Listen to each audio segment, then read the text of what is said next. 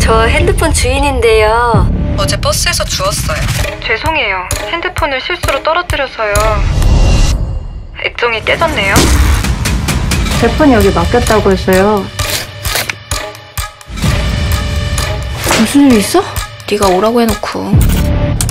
내가?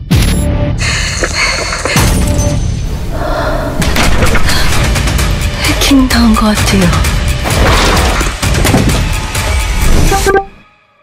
남이 폰 죽고서 아저씨 앞에 이러고 있기까지 며칠 걸렸을까? 3일 걸렸어. 네가 그랬어? 어? 어떻게 네가 나를 의심해? 누가 나 지켜보는 것 같고 다 듣고 있는 것 같고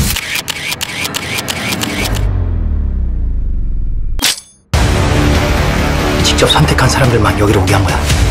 한명더 있어. 내가 뭘 잘못했는데 왜 이렇게 소중한 걸 아무데나 떨어뜨리고 다녀? 이렇게까지 하는 이유가 뭐야? 네 폰 내가 주웠으니까.